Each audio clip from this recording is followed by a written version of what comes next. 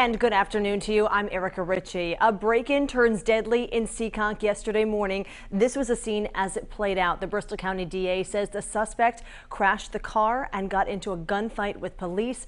12 News reporter Brittany Schaefer joining us now live from the site with the latest on this investigation. Brittany, good afternoon.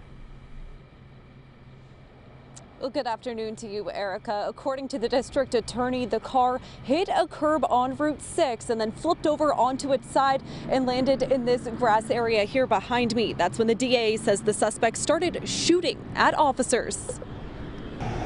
Alicia Correa was met by dozens of police officers and a SWAT team on her drive to work Sunday. Asked the guy, the cop actually, if I could, like, I work up there, what am I supposed to do? And he told me to park out of school and walk up, and then I started seeing just so many cop cars. When Correa saw the flipped car with a broken windshield, she thought it was a bad accident. I started getting like nervous because then I seen uh, then I seen the car and I'm like, oh my gosh. But soon found out it was much more than that. The Bristol County District Attorney's Office tells us a suspect broke into a Route 6 business. Responding officers found the man in another nearby parking lot. The suspect then fled and soon lost control of the car and crashed. The DA says two Seekonk officers arrived at the crash and were met with bullets from an AK-47 style rifle.